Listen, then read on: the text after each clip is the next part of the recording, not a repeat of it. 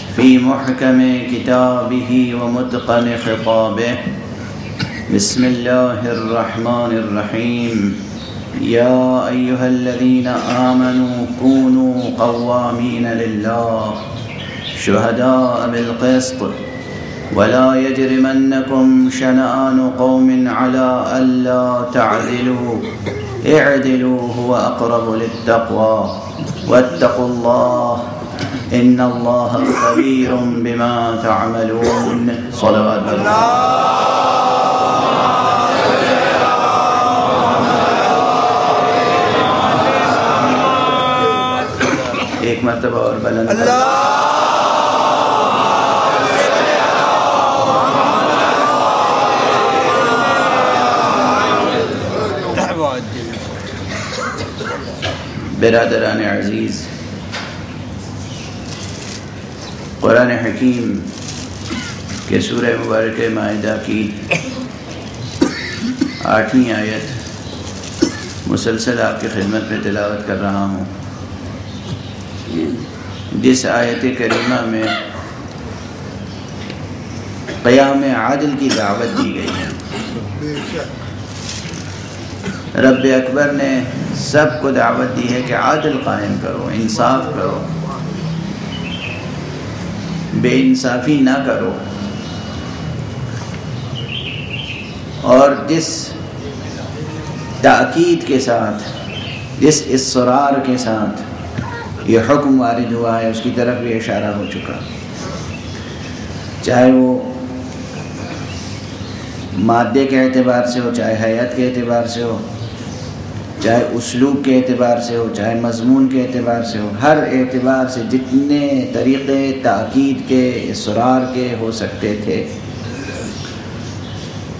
वो सब तरीक़े रब अकबर ने इस्तेमाल किए हैं ताकि इंसान को आदिल की अहमियत मालूम हो जाए। कि उसे आदिल करना है, उसे इंसाफ करना है। बार बार अर्ज़ कर रहा हूँ, तकरीबन रोज़ अर्ज़ कर रहा हूँ कि आदिल एक मखसूस सतही तस्वुर न रखें आदिल का। सिर्फ़ माली मामलात में आदिल नहीं है। सिर्फ़ मादी निज़ाम में आदिल नहीं है। आदिल एक हमगीर हकीकत है।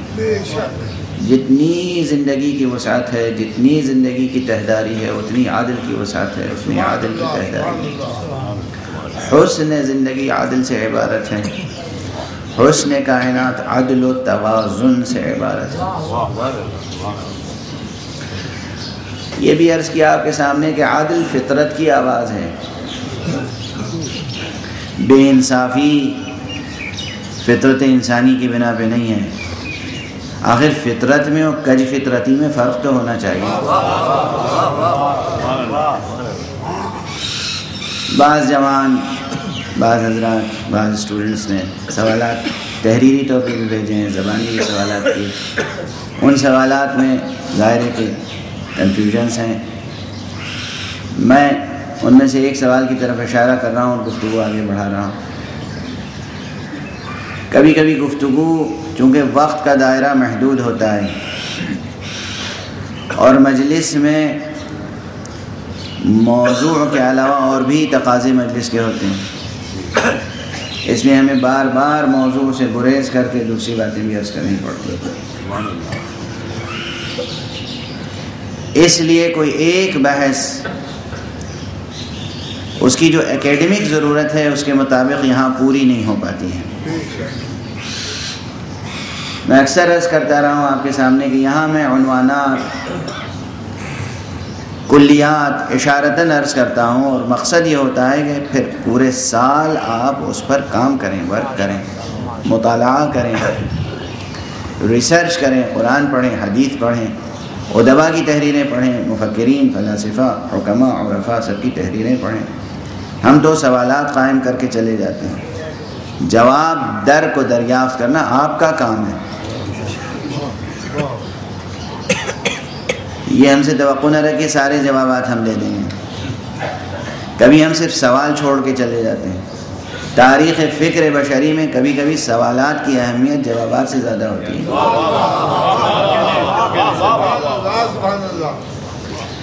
सवाल की अहमियत कहीं ज़्यादा होती है जवाब से। बहरहाल, एक सवाल ये आया है गलत फहमी की बिना पर। गालिबा मतलब पूरी तरह समझा नहीं गया या मैं अदा नहीं कर सका, मेरा भी कसूर हो सकता है। मैंने बार बार अर्ज़ किया कि फ़ितरत पर इंसान पैदा होता है और ये फ़ितरत मासूम फ़ितरत है, ये फ़ितरत इलाहिया है, ये फ़ितरत सलीमा है। ये फ़ितरत पाक फ़ितरत है। सरिश्त बशरी पाक सरिश्त है। रब अकबर ने नाज किया है, फ़ितरत फ़तरन्नास उस फितरत पे हमने इंसान को पैदा किया है, जो फितरतुल्लाह है।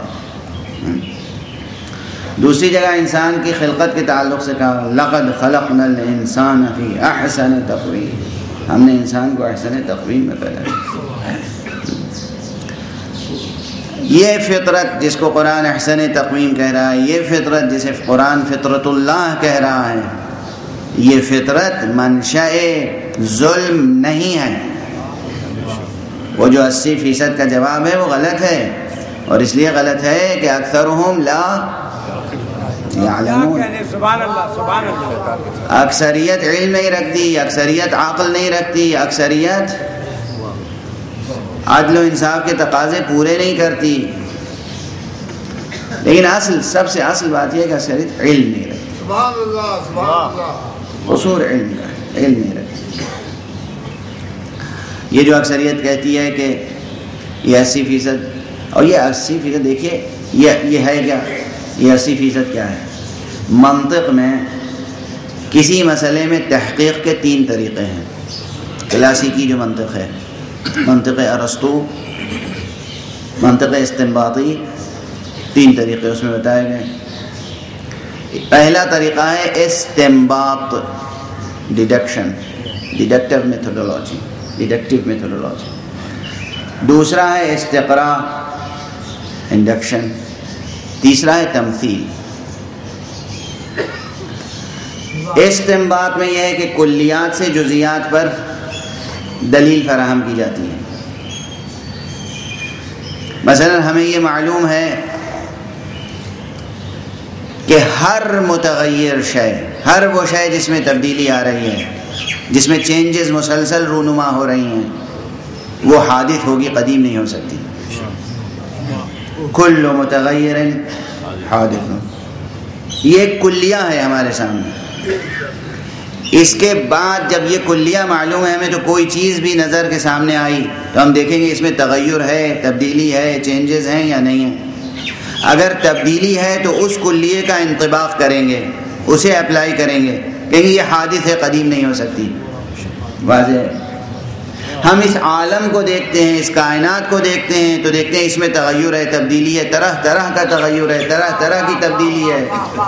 तरह तरह के चेंजेस हैं इसमें, कभी बहार है, कभी ख़ज़ा है। मुख्तलिफ़ तब्दीलियाँ हैं। कभी सितारा यहाँ है, कभी वहाँ है।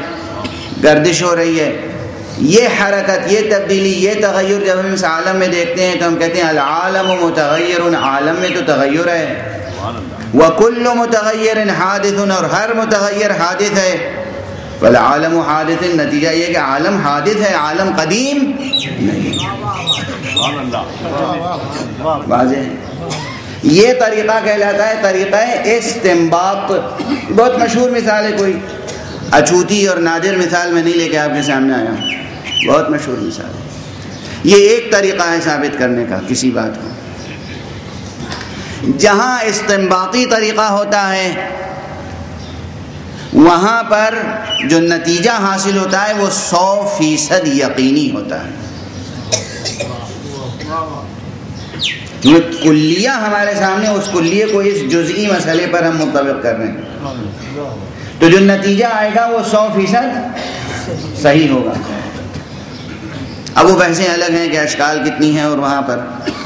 कहाँ नतीजा कभी होता है कहाँ ज़यीफ़ होता है वो मसले अलग हैं। दूसरा उसलूब है इस्तरा का। इस्तरा यह है कि जुजई से कुल्ली की तरफ़ सफ़र करते हैं। कुल्ली हमें नहीं मालूम है। मसलन हमें नहीं मालूम है। पुरानी मिसाल मैंने खुद शायद दी है इसी मेंबर पर कई बरस पहले। हमें नहीं मालूम कि इंसान के दिल में इंसान के सीने में एक दिल होता है या दो दिल होते हैं।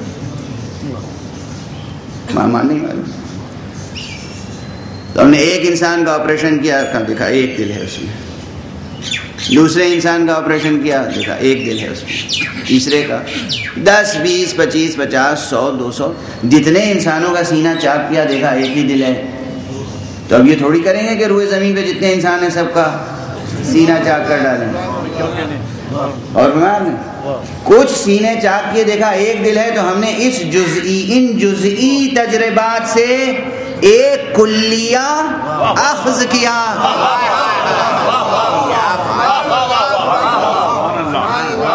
और हमने कहा कि इंसानों के सीने में एक दिल होता है, एक दिल से ज़्यादा नहीं होता। ये इसतराई तरीक़ा ये भी एक नतीजे तक तो पहुंचाता है लेकिन यकीन कीजिए कि ये न, ये नतीजा सौ फ़ीसद यकीनी नहीं होता। शक की गुंजाइश हमेशा रहती है। कि हो सकता है सौ मिसालों के बाद एक सौ एकवीं मिसाल जो है हो सकता है उसमें दो दिल निकल आए।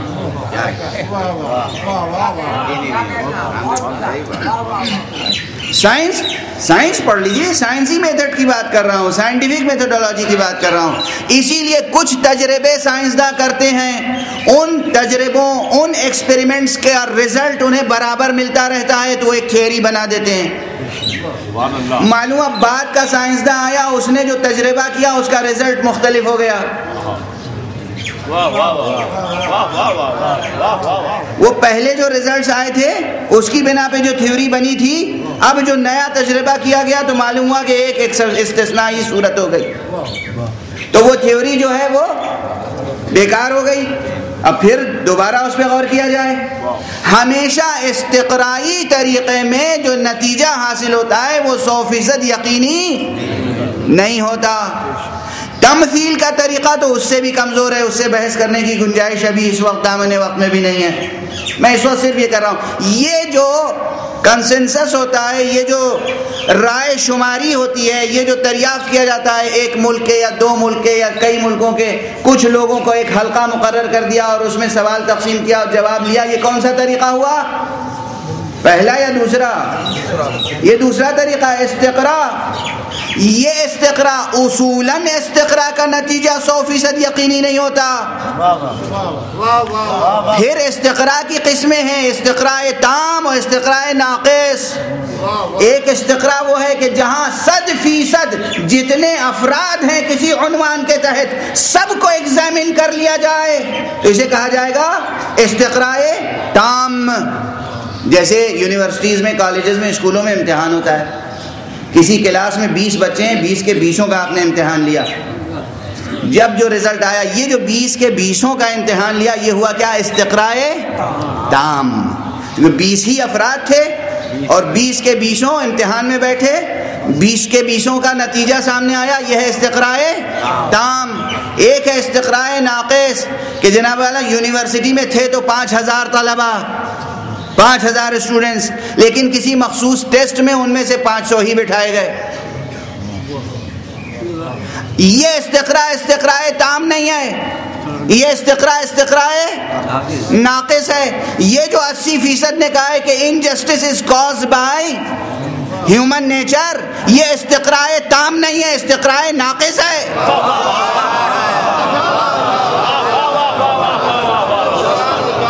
पहली बात यह कि इस्तरा का तरीका खुद जो नतीजा देता है वो कमज़ोर होता है। गैर यकीनी होता है सौ फ़ीसद यकीनी नहीं होता। उसके बाद दूसरा मरहला यह है कि वो भी अगर ताम हो तो गौर किया जाए। इस्तरा नाकिस है।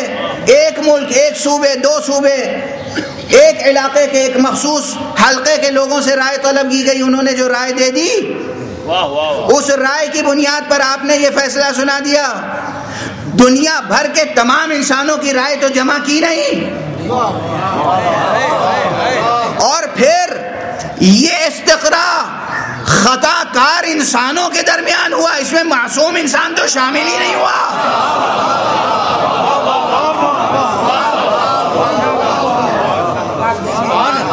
बात बहुत दूर तक जा रही है। जहाँ जहाँ इजमा की दुहाई दी जाती है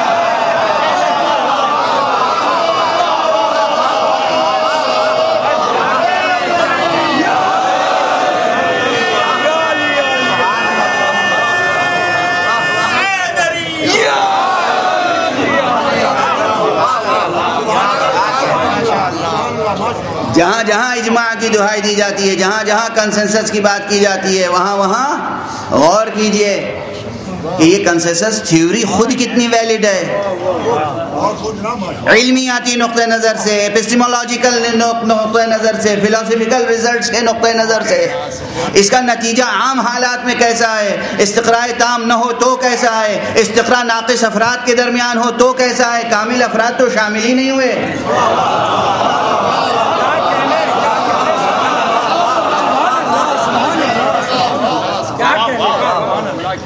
खुलासा बहस ये है कि ये बात गलत है कि फितरत जिम्मेदार है बेइंसाफी की। फितरत जिम्मेदार नहीं है कज फितरती जिम्मेदार है।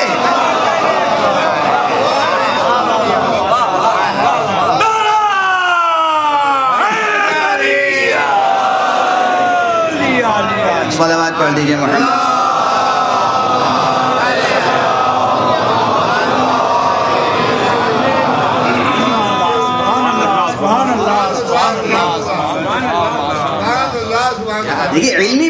पर बहस करके आगे बढ़ूँगा मैं ये मसला अगर किसी हद तक तय हुआ तो फिर एक कदम आगे बढ़ूँगा जो बात मैंने अर्ज़ की थी कि जो भी बच्चा पैदा होता है वो फितरत सलीमा लेकर पैदा होता है फितरत इलाहिया पर पैदा होता है फितरत इस्लाम पर पैदा होता है फितरत तोहहीद पर पैदा होता है फितरत आदिलाना लेकर पैदा होता है जो भी बच्चा पैदा होता है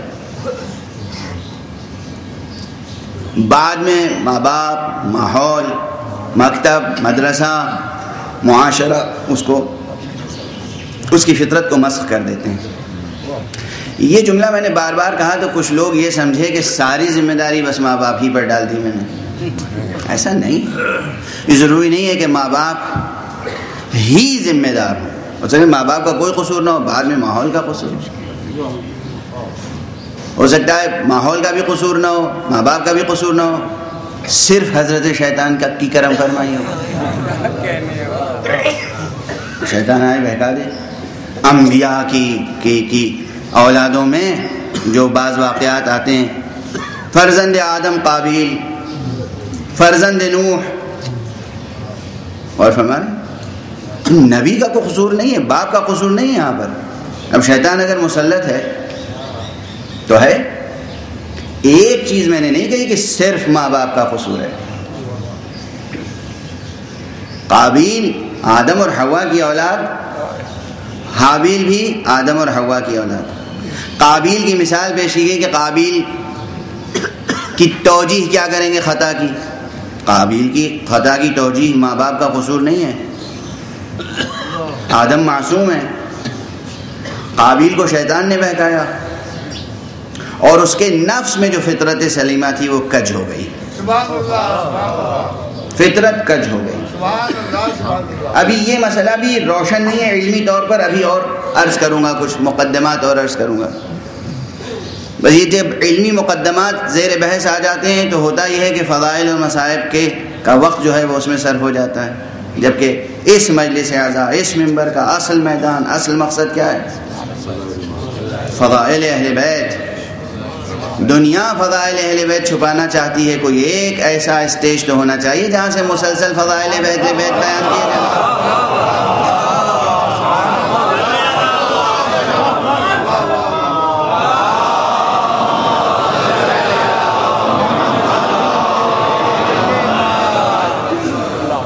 मगर ये मेरी मजबूरी है, मैं फ़जाइल भी गुजारिश करने की कोशिश करता हूँ, मगर इन इलमी मुकदमात के साथ। तो फितरत कज हो गई, कज फितरती। फितरत और कज फितरती में फ़र्क इम्तियाज़ करने की ज़रूरत है। काबिल से ख़ता हो गई। काबिल मलून है, काबिल कातिल है। देखिए, सारी इंसानियत का फैसला है, कोई काबिल को तवज्जो रखिए, कोई काबिल को रज़ी अल्लाह तन नहीं कहता।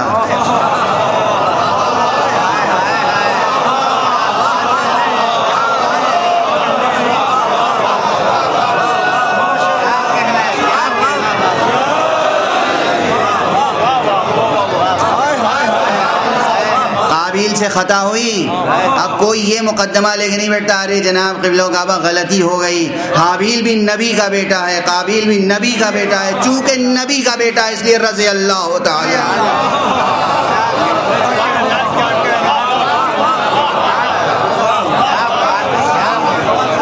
कातिल है है, जहन्नमी है।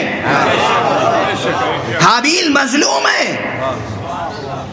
हाबील सलाम है।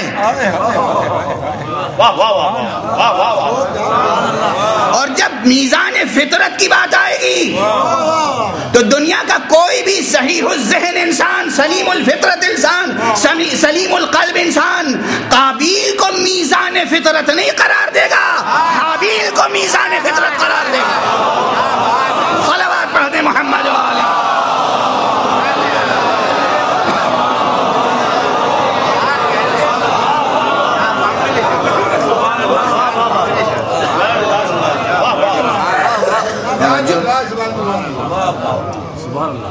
मीज़ान फितरत काबिल नहीं है। मीज़ान फितरत हावी है। हज़रत आदम के कितने बड़े बेटे थे? कई काबिल हुए? कितने बेटे थे? सिर्फ़ दो ही थे। और भी बेटे थे। एक काबिल हो गया। तो ये एक्सेप्शन है ये इस्तेसना है। ये इस्तेसना फितरत की बुनियाद नहीं है। ये इस्तेसना ये इस्तेसना फितरत की बुनियाद नहीं है। ये कज फितरती की अलामत है। शैतान ने बहकाया, नफ्स में हब नफ्स कुदरती तौर पर पाया जाता है। हब नफ्स पाई जाती है, मोहब्बत अपनी ज़ात से पाई जाती है, कुदरती चीज़ है। लेकिन जब ये आगे हद से बढ़ जाए, जब हद से आगे बढ़ जाए, तजावुज कर जाए तो फिर उस पर इसमें फितरत का इतलाक दुरुस्त नहीं है।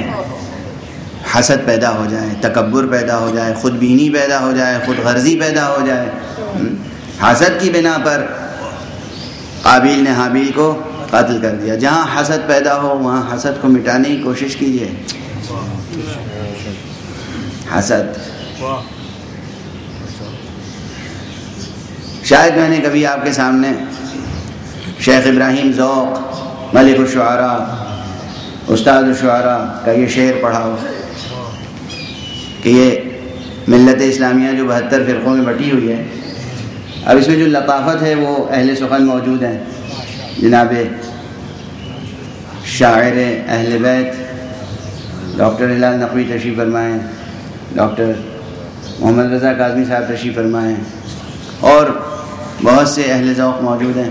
जो इसमें ज़राफ़त है, नज़ाकत है, वो आप हजरात समझते हैं। इसमें आदात की बात उन्होंने की है।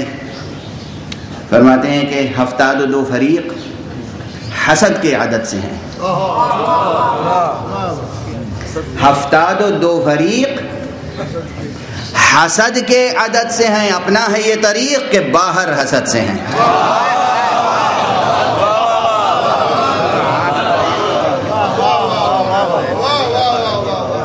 हफ़्ता दो फरीक हसद के आदत से हैं। अपना है ये तरीक के बाहर हसद से हैं। ये उनकी एक गज़ल का मतला है। गज़ल का भी मुताला किया कीजिए। अदब, शेर, ये इंसानी कदरों की के तजकिए का काम करता है। अच्छा अदब अच्छा शेर। अदब का मुताला हो तो इंसान में इंसानी लताफतें बाकी रहती हैं। बहरहाल दरमियान में ये बात आ गई। हकीकत में हसद की आग है जिसने मुंतशिर कर दिया है मिल्लत को। घर को भी मुंतशिर करती है जो चीज़, वो हसद है। काबिल के अंदर हसद पैदा हुआ। हसद फितरत में नहीं पाया जाता। बाद में पैदा होता है। फितरत अवलिया में, फितरत सलीमा में, फितरत इलाहिया में, फितरत तोहद में हसद नहीं है। फितरत में हर चीज़ को उसकी जगह आता करने का जज्बा होता है। फितरत ये बताती है, बड़े को बड़ा समझो, छोटे को छोटा समझो, अच्छे को अच्छा समझो, बुरे को बुरा समझो। जब कज हो जाती है फितरत तो ये होता है कि अच्छे को भी अच्छा कहो, बुरे को भी अच्छा कहो।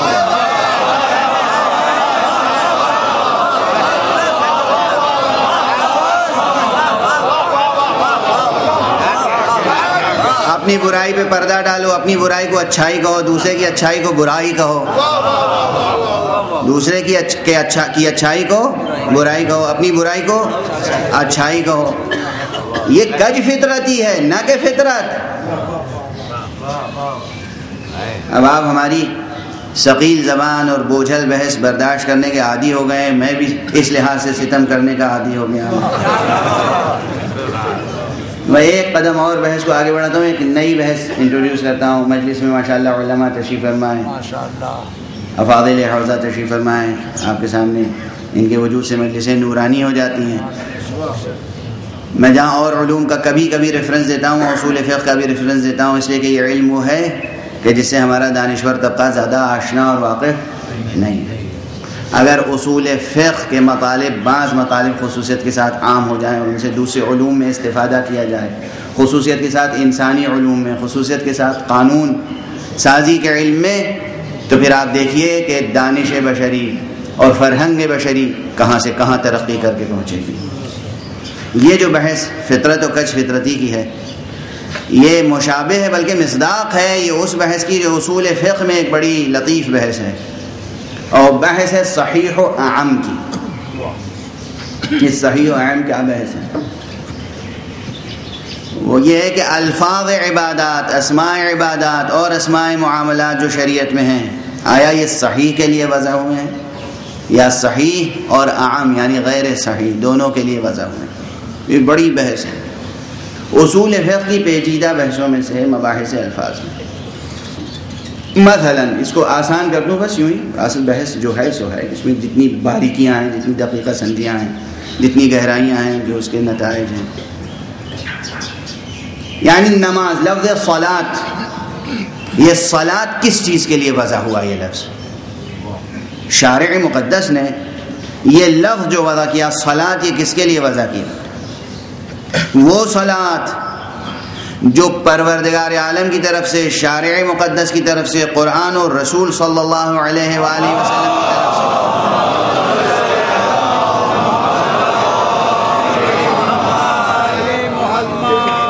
जो तालीम की गई है सलात, सही अज्जा और सही शरात के साथ। अगर वो सही अज्जा और सही शरात के साथ पहारत हो तकबीर हो कराहत हो रुकू हो सजूद हो अदकार और तमाम उसके कबला मकान लिबास, हर एतबार से जो सही नमाज़ है, उसके लिए लफ्ज़ सलात है। या अगर कुछ अज्जा कम और ज़्यादा भी हो जाए और नमाज़ गलत भी हो जाए तो हम उसे नमाज़ कहेंगे। बहस ये है।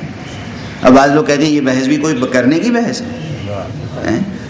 लेकिन जब बहस कीजिएगा तो अंदाज़ा होगा कि हाँ करने की ज़रूरत थी, तब उलमा ने बहस छेड़ी। ऐसे ही नहीं छेड़ी। हज है। हज अपने तमाम अज्जा और शराय के साथ हो, सही, दुरुस्त हज हो तो उसे हज कहेंगे। या उसमें कोई खलल आ जाए, तब भी उसे हज कहेंगे।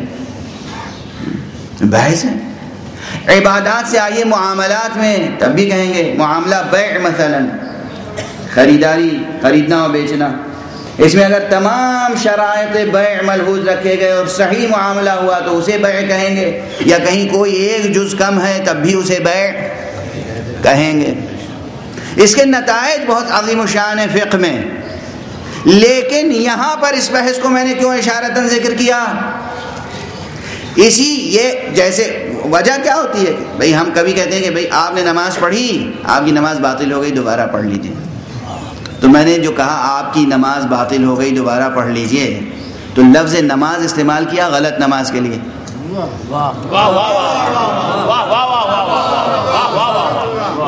बातिल नमाज़ के लिए लफ्ज़ नमाज़ इस्तेमाल किया। और मैंने कहा, फिर से पढ़ लीजिए। तो कहते हैं, नमाज़ का लफ्ज़ इतलाक़ तो हुआ ना? ये जो नाकस नमाज़ थी, जिसमें खलल वाक़ हो गया था, जिसमें कोई जुज छूट गया था, कोई शर्त जो है पूरी नहीं हो पाई थी, इसे भी आपने कहा तो नमाज़? इसके मानी ये हैं कि नमाज़ का लफ्ज़ जो वज़ा हुआ, ये इसम जो वज़ा हुआ, ये सही और आम, यानी गैर सही और सही दोनों के लिए वज़ा हुआ। सही को भी आप नमाज़ कहेंगे और जो गलत है उसको भी आप नमाज़ कहेंगे। आम सही और गैर सही दोनों को शामिल करके आप लफ्ज़ नमाज़ इस्तेमाल करेंगे। बेशुमार अल्फाज हैं जिन पे बहस होती है उसूल फ़िक में। ये क्यों बहस होती है? इसलिए कि आपने सलाद का लफ्ज एक बार इस्तेमाल किया सही सलाद के लिए। और दूसरी बार इस्तेमाल किया गलत सलाद के लिए। अब यहाँ पर सवाल है वाज ने वज़ा करने वाले ने ये टर्मिनोलॉजी क्वाइन करने वाले ने ईजाद करने वाले ने इसको सही के लिए वजह किया है बिलखसूस या सही और गैर सही दोनों के लिए वज़ा किया है अगर सही के लिए वज़ किया है तो गलत के लिए जो इस्तेमाल हो रहा है वो बरबिनाए मजाज इस्तेमाल हो रहा है न बरबिनाए हकीकत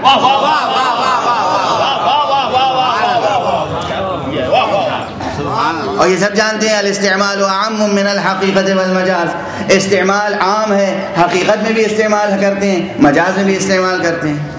हैं? ये शायर हैं, मुकम्मल शायर हैं। माशा अरूज व कवाफ़ी पर दस्तरस है। बहरों पे दस्तरस है, ज़बान पे दस्तरस है। मुकम्मल शायर हैं, तख्लीकी शायर हैं, हम इन्हें शायर कहते हैं। एक साहब ऐसे हैं हमारे दोस्तों में, जो एक मिसरा मौजू नहीं कर सकते। मिजाज व कैफियात शायराना रखते हैं। मैं उनको भी कहता हूँ, जनाब, ये तो शायर हैं, क्या मैं उन्हें शायर हकीकता कह रहा हूँ?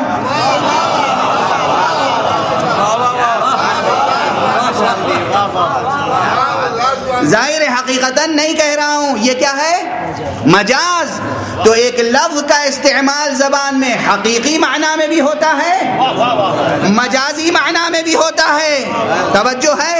हम किसी शायर को शायर कहें तो हकीकत है। किसी मुतशायर या ना शायर को शायर कहें, ये मजाज है।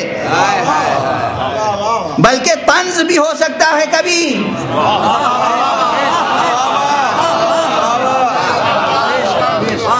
और फरमा रहे इसी तरह इसी तरह नमाज़ नमाज़ जो सही नमाज़ अदा हो, तमाम अज्जा शराय के साथ, वो है सलाद वो जो दूसरी एक चीज़ हुई जिसमें कोई खलल वाक़ हो गया, कोई जुज छूट गया, कोई शर्त रह गई, वो चूँकि शबी है, मुशाबे है उस नमाज़ से।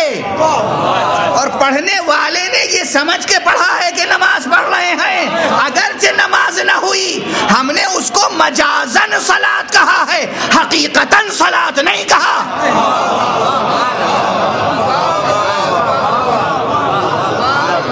वाजे है? इसी तरह लफ्ज फितरत है। जहाँ फितरत में हसद नहीं है कीना नहीं है कुदूरत नहीं है जहाँ फितरत फितरत इलाहिया है फितरत सलीमा है जहाँ फितरत मासूम है हम उसे कहते हैं फितरत।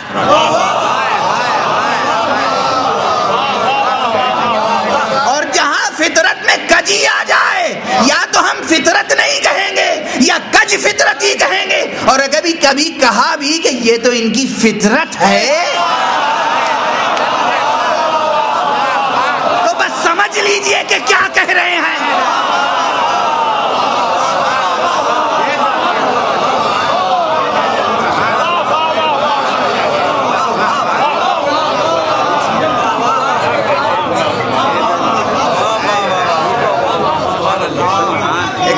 सलावाद पढ़ दीजिए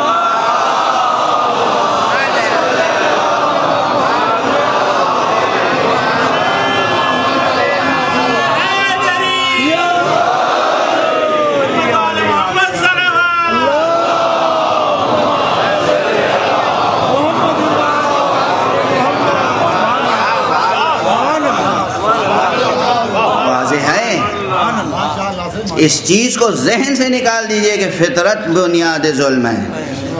फितरत मासूम है। फितरत में अदालत शारी है। फितरत में अदालत पसंदी और आदल पसंदी है। ये कज फितरत ही जो इंसान जुल्म करता है। और ये कज फितरत कैसे होती है? इसके बहुत से इसबाब हैं। एक सबब नहीं। ये नहीं कि सिर्फ़ हमेशा माही की ख़ता होगी। कभी बाप की भी हो सकती है। ये नहीं कि हमेशा बाप की ख़ता होगी, माँ की भी हो सकती है। ये ज़रूरी नहीं कि माँ बाप की ख़ता हो। मुमकिन है कि पैदाइश के बाद जिस आगोश में परवरिश पाई हो।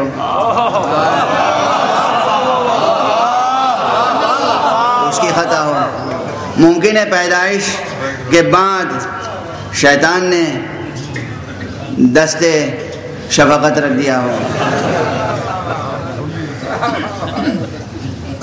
मुमकिन है जिस मकतब में तालीम हासिल की, वहाँ कोई एक ऐसा अनसर हो। मुमकिन है दोस्तों में ऐसा अनसर हो।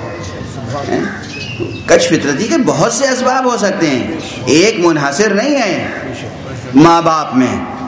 मुनहसर नहीं। कश फितरती के बहुत से इसबाब हैं। और जहाँ माँ बाप सही और सालिम होते हैं। इसीलिए हम कहते हैं, परवरदिगार को मालूम है कि अपने नबी को कहाँ पैदा करें।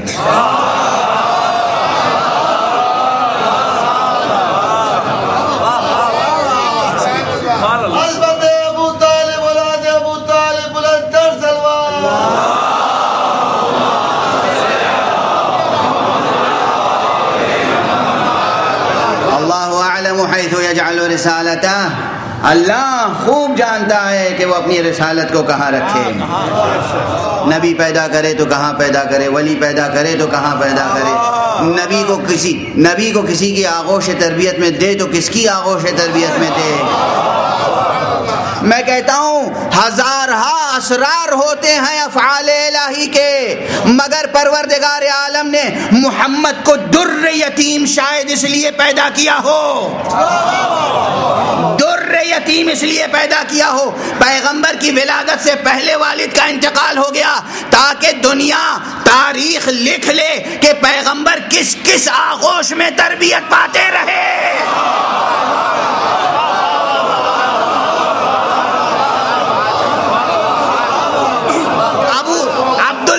मुत्तलिब की अजमत भी सामने आ जाए। अबू तालिब की अजमत भी सामने आ जाए। आमिना बिनते वहाब की अजमत भी सामने आ जाए। फातिमा बिनते असद की अजमत भी सामने आ जाए।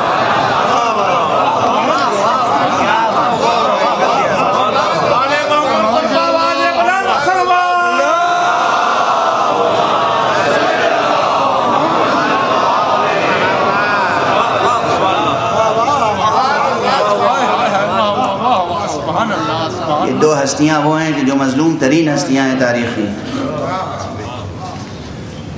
मुसलमानों ने हज़रत अबू तालिब पे सिर्फ़ इसलिए जुल्म किया है कि वो अली के वालिद थे।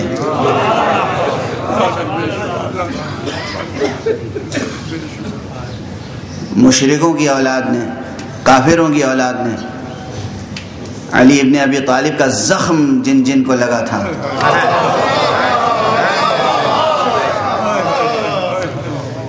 उन्होंने हज़रत अबू तालिब पर जिस तरह से गुस्ताखियाँ की हैं, तारीख़ में मौजूद है। हज़रत अबू तालिब का वो मरतबा है कि उनके फ़ेल को खुदा अपना फ़ेल करार उनके अमल को अपना अमल करार कुरान है, ये हदीस नहीं है। हदीस और तारीख़ तो कुरान की तफसीर के ज़िम्न में हमारे सामने आती है। कुरान है जिसने हज़रत अबू तालिब के अमल को खुदा का अमल करार किया और हज़रत अबू तालिब और जनाब फ़ातिमा बिन असद के मरातब को अगर देखें, दोनों अपनी जगह आफ्ताब महताब ये आफ्ताब कमाल हैं तो वो माह तमाम। ये आफ्ताब कमाल हैं तो वो माह तमाम। लेकिन एक फ़र्क है, हज़रत अबू तालिब को पैगंबर हमेशा या अम्मा कहते थे, चचा। लेकिन फातिमा बिन असद को कहते थे, या उम्मा है मेरी माँ।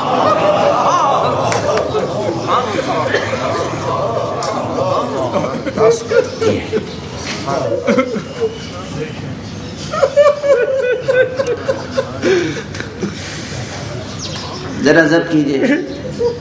कुछ और अर्ज़ कर सकूँ? हालाँकि, ये अयाम तो रोने ही के हैं। मुहर्रम मुहर्रम है। वो भी मुहर्रम सैद शहदा मुहर्रम अबू अब्दुल्ला हुसैन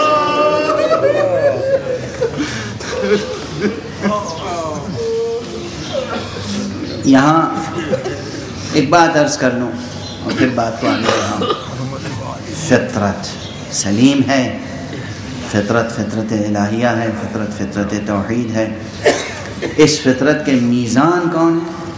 मासूम अफराद तो हैं हैं जो नबी हैं, हम भी आज जितने हैं, वो सब मीज़ान फितरत है। अम्बिया के वो अवसिया जो अल्लाह की तरफ़ से मुकर हैं, वो सब मीज़ान फितरत है। अल्लाह के जितने मासूम बंदे हैं, वो सब मीज़ान फितरत है। और बहुत से वो अफराद हैं कि जिनकी इसमत का हमें किसी समई दलील से, किसी नकली दलील से, यानी किसी हदीस से, किसी रिवायत से, किसी आयत से हमें इल्म नहीं हासिल हो सका कि वो मासूम है। लेकिन हम देखते हैं तो हमें मासूम ही नज़र आता है। जब हम देखते हैं तो हमें कोई ख़ता नज़र नहीं आती। अब हम क्या करें? जब ख़ता नज़र ना आए तो मासूम कैसे ना कहें? आदिल का हाथ दामन हाथ से चला जाएगा हमें ऐसे अफराद नज़र आते हैं जिनमें ख़ता नहीं। असलाही तौर पर मासूम न कहिए, ठीक है। असलाही तौर पर मासूम न कहिए, ठीक है। यानी हजत खुदा, जिन पे वही नाजिल होती हो, आप ना कहिए। लेकिन अमलन मासूम है। कोई कह सकता है, पैगंबर तो मासूम हैं, हज़रत मोहम्मद इब्न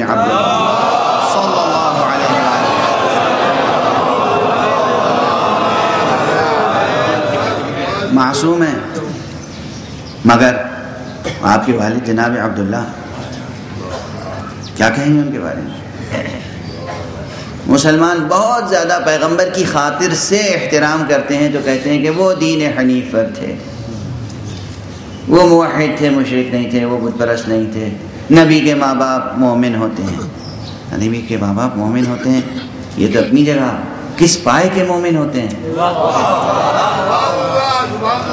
किस दर्जे के मोमिन होते हैं? और वो भी जिस पाए का नबी होगा उसके माँ बाप भी उसी पाए के होंगे। जो नबी मकाम ख़त में नबूत पे फायज होगा।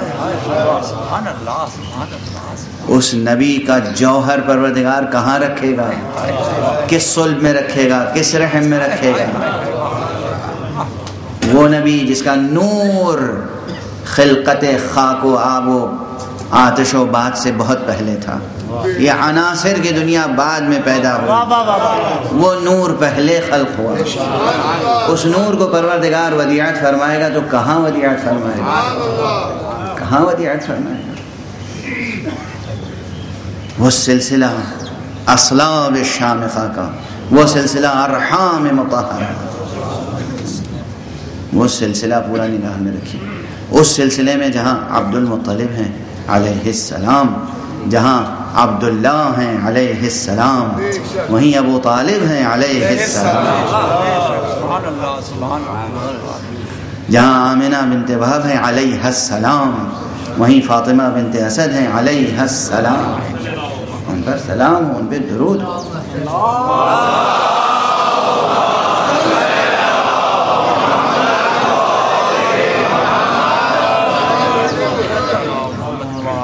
मैं जुमला इस मेंबर से पहले कह चुका हूँ ये जुमले फरसूदा नहीं होते। ये जुमले मैं जज्बाती तौर पे नहीं अर्ज़ कर, कर, करता हूँ। आप जानते हैं। जुमला अर्ज़ कर चुका अली वली हैं। कैसे वली हैं? अली वली ही नहीं है तो ना अली वली इब्न वली इब्न इब्न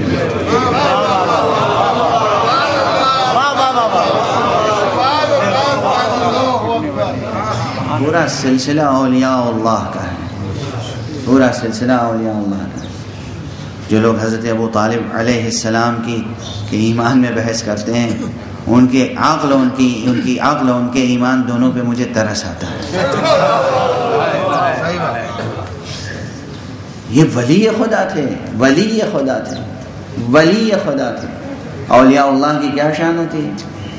तारीख में कहीं बहुत से इल्ज़ाम हज़रत अबू तालिब होंगे, मगर तारीख में कहीं ये नहीं है कि वो नजूमी थे।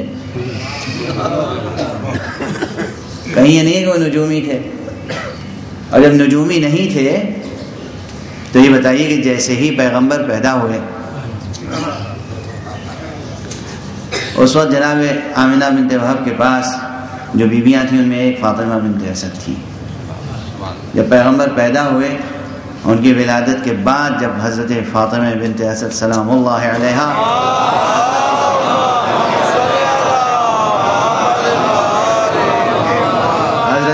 तालिब के पास तशरीफ़ लाई तो कहा कि ये बच्चा तो अजीब व गरीब बच्चा है, बड़ा नूरानी बच्चा है।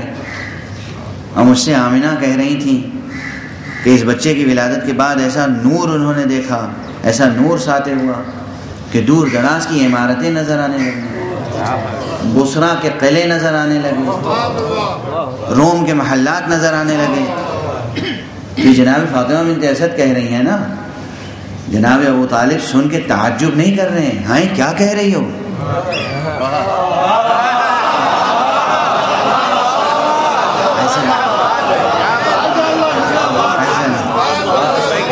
सब्र सुकून के साथ कोह वक़ार बने हुए हैं। सुन रहे हैं और चेहरे पे तबस्सुम है। जब वो सब कुछ कह चुकी तो फरमाया, तुम्हें मालूम है, ये पैदा होने वाला बच्चा नबी है और इसके तीस बरस बाद तुम्हारे बतन से इसका वसी पैदा हो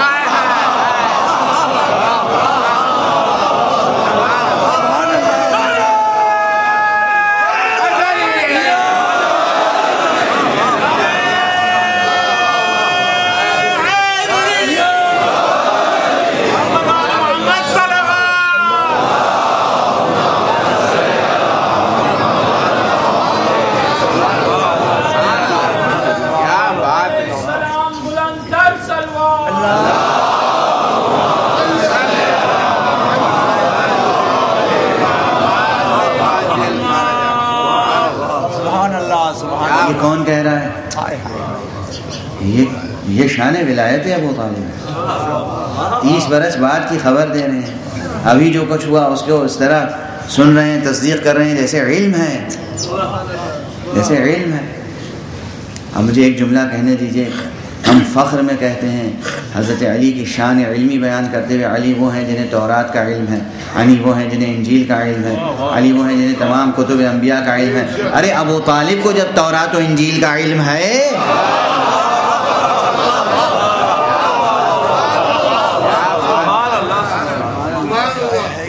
तो अमीर का रुतबा तो बहुत बुलंद है। यकीन अली अपने वालिद अबू तालिब से अफजल हैं। इसमें कोई शक नहीं है। बेदराना फजीलत अपनी जगह है। हज़रत अबू तालिब में हज़रत अली में वैसे ही फ़र्क है, जैसे हज़रत इब्राहिम में मोहम्मद मुस्तफ़ा में।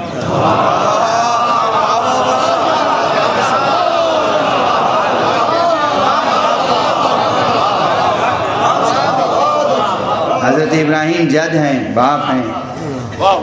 पैगंबर उनके फर्जन हैं, पोते हैं, उनकी नस्ल में पैदा हुए। वो नबी हैं, वो खलील हैं। वो रसूल हैं, वो खलील हक़ हैं, खलील रहमान हैं, इमाम हैं। मगर ये ख़ातमुलनबीन हैं, ये इमामुलमरसलीन हैं। सलाम में उन पर सबकत होगी। पेश नवाजी के लिए ये आगे बढ़ेंगे। यही नस्बत अबू तालिब और अमीरमिन अली इब्न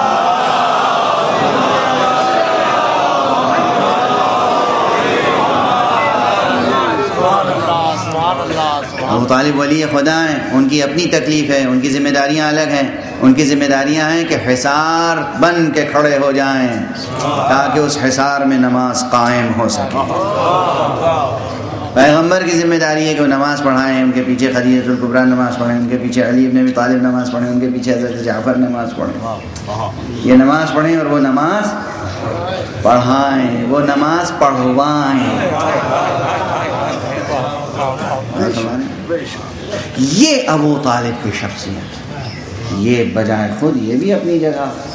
वो बेखता बेकसूर शख्सियत है जिसमें जाहलीत का कोई गुबार नज़र नहीं आता। इसके दामन पर दौरे जाहलीत में रहने के बावजूद जाहिलियत का कोई गुबार, नज़र नहीं आता। और इसलिए हम इतमान से कह सकते हैं कि कज फितरतो, अगर फितरत को दरियाफ्त करना है तो कम से कम अबू तालिब को पढ़ लो।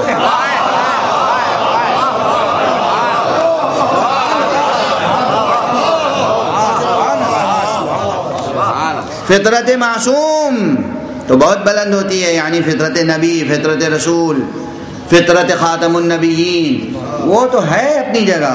फितरत अमीरमिन वो है अपनी जगह। फितरत अबू तालिब। ये फितरत थी जिसने इजतहाम शिर को कुफर, जुल्म, उदवान में साथ किसका दिया? ये फितरत है। ये फितरत मैार है। ये फितरत मीज़ान है।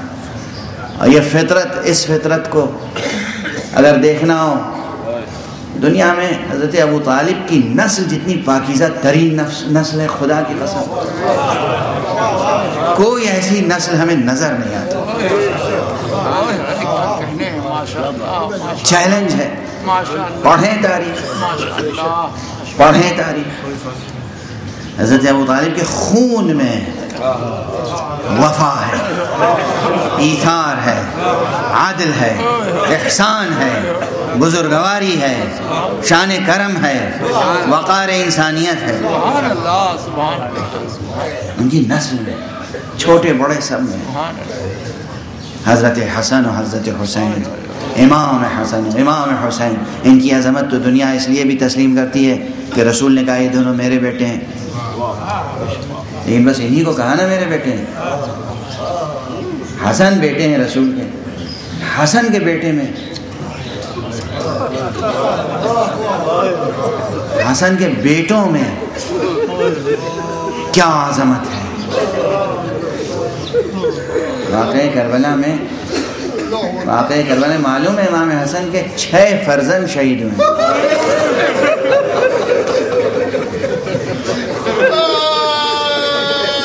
हम एक बेटे को मातम करते हैं। आज पुरसा दीजिए आप, हज़रत अबू मोहम्मद, हसन इब्न अली, हसन जकी। पुरसा दीजिए। आका, हमारी तरफ़ से पुरसा कबूल किस किस का पुरसा पेश किया जाए? सात बेटों ने जंग की। छह बेटे शहीद हो गए। एक बेटा, ये तारीख का बाब है। हसन मुसन्ना वो किस तरह ज़िंदा बच गए और बाद में जहर से उन्हें शहीद किया गया। ये सब तारीख की जुजियात हैं। कैसे कैसे बेटे थे? उनमें एक बेटा वो भी था जिसका बूटा सा पत्था चाँद सा चेहरा था। अभी शरान बालिग नहीं हुआ था।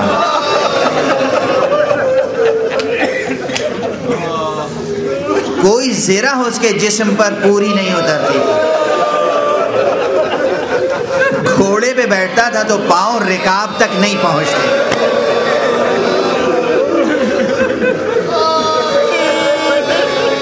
पाँव रकाब तक नहीं पहुँचते।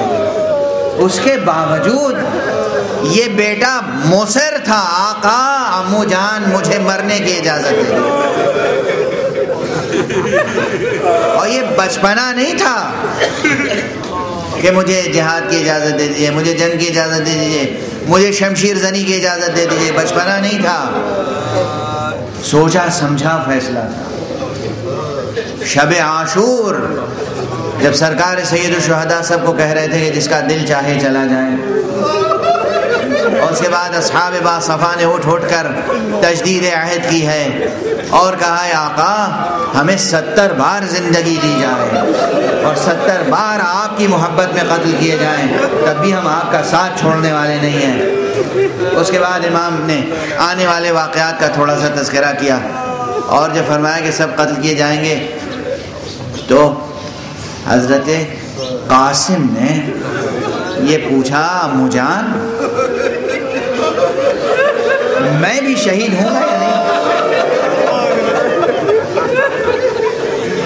क्या सरकार शुहदा ने मालूम है, जुमला क्या फरमाए। बेटे, तू भी शहीद होगा और वो नन्हा असगर, वो भी शहीद मगर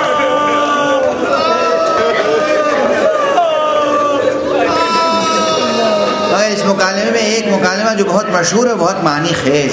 आपको सबको याद है। एक मरतबा, सरकार शहीद शहदा ने हज़रत कासिम से पूछा, बेटा, मौत तुम्हें कैसी लगती है? क्या फसी हो, क्या बलीग हो, क्या हकीमाना हो, क्या आरिफाना?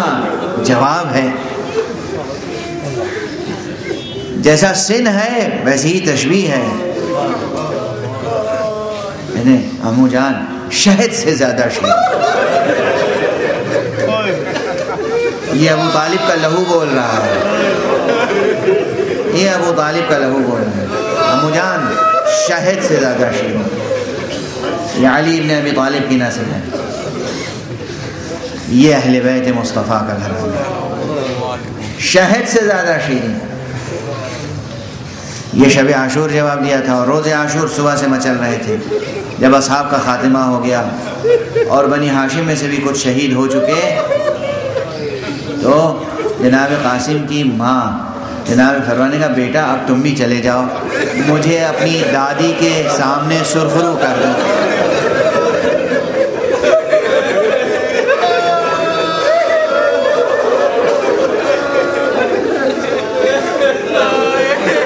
तारीख में है, तारीख में है। बाद शहीदों को रुखसत करते वक्त, हज़रत अबू अब्दुल्ला की तबीयत में एक बड़ा तगैर हुआ, बड़ा इसतराब पैदा हुआ। उनमें से एक जनाब कासिम की जुदाई है। कहते हैं, जब भतीजे ने इसरार किया तो भतीजे को सीने से लगाया और इतना गिरिया किया कि इमाम गश खा के गिर गए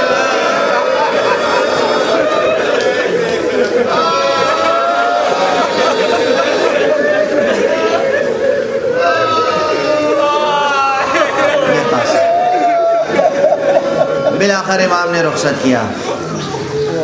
बिल आखिर इमाम ने रुख्सत किया। यहाँ पर बाज़ अहल मकातिल ज़िक्र करते आए हैं। बाइड नहीं है। कि जब हज़रत सैद शहदा इजाज़त नहीं दे रहे थे तो कासिम बहुत मलूल हुए। और जाकर एक गोशे में बैठ गए।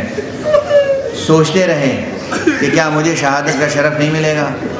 कब इजाज़त देंगे, कैसे इजाज़त देंगे?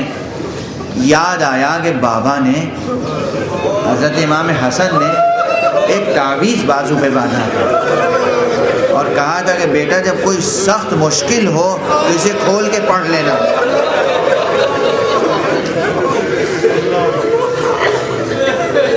हज़रत कासिम इबन हसन ने वो तावीज़ खोला, पढ़ा तो देखा वो तावीज़ हसन के नाम नहीं है, वो एक ख़त है हुसैन के नाम।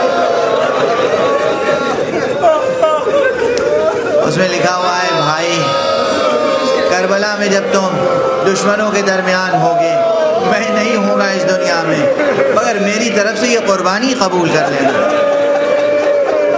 भाई की तहरीर देखकर हुसैन ने आँखों से लगाया और रोते हुए कासिम को मैदान की इजाज़त दी।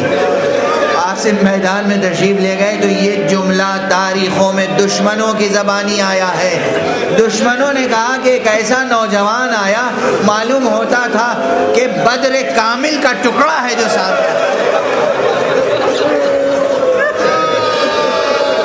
दुश्मनों की निगाह में, जिसका हुस्न जमाल, जिसकी नूरानियत इस दर्जे की हो, माँ की निगाह में क्या कैफियत होगी चचा की निगाह में क्या कैफियत होगी? उस फूबी की निगाह में क्या कैफियत होगी जिसने पाला है? कैसे ये बच्चा रुखसत हुआ होगा?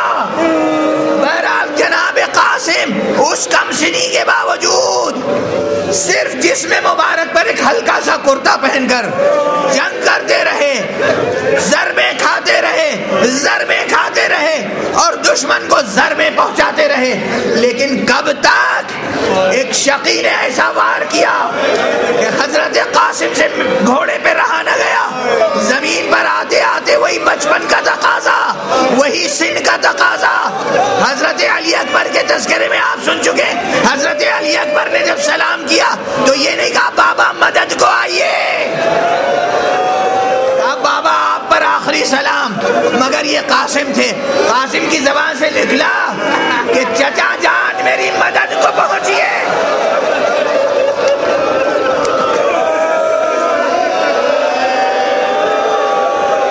अजरुकुम अल्लाह